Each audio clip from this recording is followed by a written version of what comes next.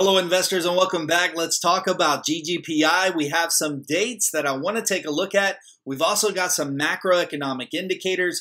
We've got some news that I want you to pay attention to with China. I want to go over the technical charts and I want to cover the options. So let's get straight into it.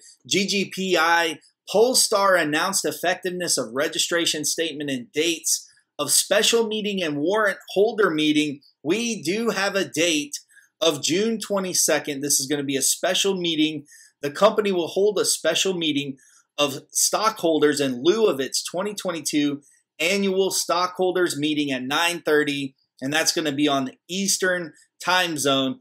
Now before that, we have several things that are going to come up. We've got these CPI numbers. We want to see that inflation is coming down and we want to pay attention to what analysts' expectations are. Now on June 10th, we have another update on those CPI data, May 22nd. So that's a lagging indicator. Of course, we're going to be behind one month. So in June, we get the data for May, 8:30 a.m. There's typically volatility when this data comes out. Now the FOMC meeting is June 14th and 15th. So you can see this is coming right up on the doorstep of June 22nd. So about a week before, we're going to have this FOMC meeting, and the Fed is supposed to offload the balance sheet, and he's supposed to start in June. So we'll have to see what happens there. So Edmunds also released an article. They had this posted on their website. Tested 2022 Polestar 2 redeems itself, beats EPA estimate range, and revised 2022 model succeed where last year's car failed and the much faster dual motor matches the single motor's range. So this news coupled with the updated filings is enough to move this stock as early as tomorrow. Now Polestar did cut their 2022 delivery forecast admit these lockdowns that are happening in China. And that's why I wanted to spend just a little bit of time talking about everything that is happening in China as far as, you know, their ADR listings, anything that you have that has a relation to that market is at risk. I would say that everything that is happening as a macroeconomic indicator with Russia and China conducting their first joint military drill since the Ukraine invasion, the way that Biden answered the question on what would happen if we did invade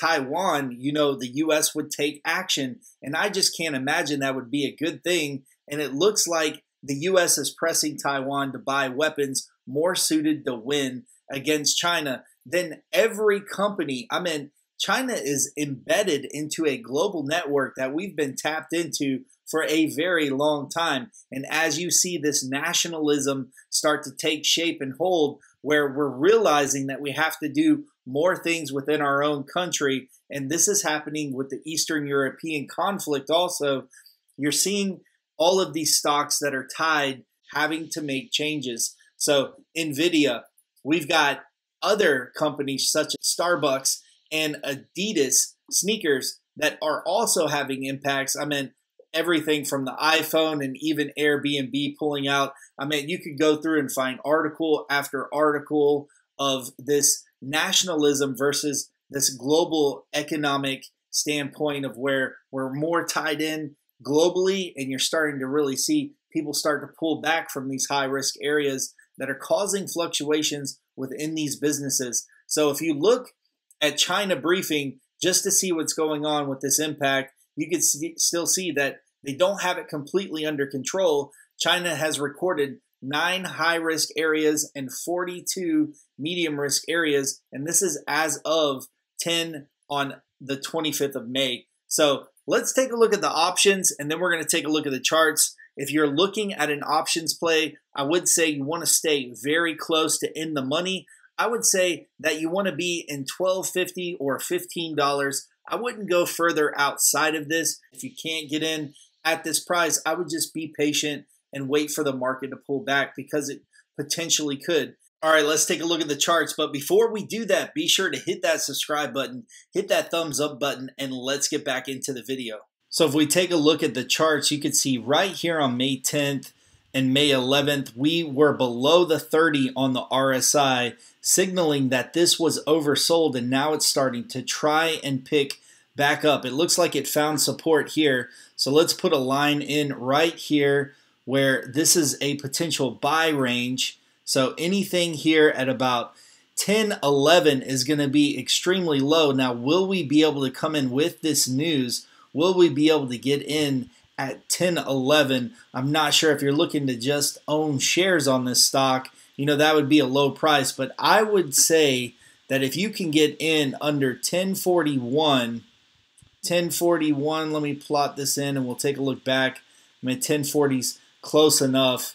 If we come back here and look, you could see that this is also showing you that it has level of support in this range. So I wouldn't want to buy any higher than that. You can see we're starting to meet resistance here at 1060, as close as you can get to $10. Obviously, this is going to be your buy range. And if we look back to see how far down this has fallen, let's take a look at this peak period up here.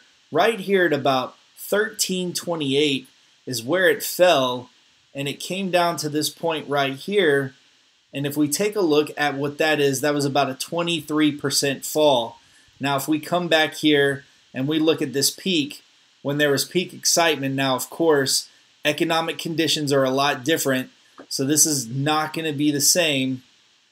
But if we come down here to this area, you can see that we have a 37% potential gain. So I would say anywhere between 23 and 37 percent is what you want to look at as far as a run up in this price leading up to that acquisition or not acquisition but that merger the announcement date. You know we want to keep that conservative range and just know that that's where we might meet some resistance in the future. Another thing we could take a look at is we could look at our moving averages.